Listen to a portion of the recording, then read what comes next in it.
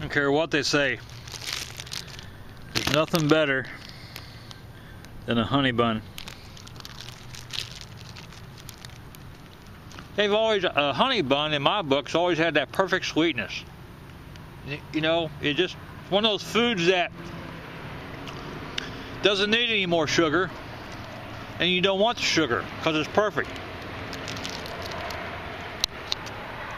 It really is.